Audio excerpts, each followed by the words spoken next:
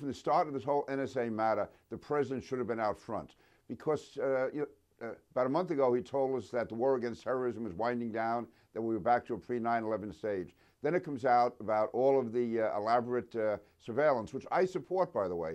But the president has to explain to the American people why, if he believes we're back in pre 9 11, we're using such uh, advanced post 9 11 uh, techniques and uh, methods. He's been silent. He should be the leader. He should be out, not talking about it in Berlin, speaking to the American people. And the same on this whole issue to let the Chinese and the Russians know how serious we are about this. So it appears as if, and I hate to be in the middle of a crisis, second guessing the president, but where is he? Where is the president? Why is he not speaking to the American people? Why is he not more forceful in dealing with foreign leaders?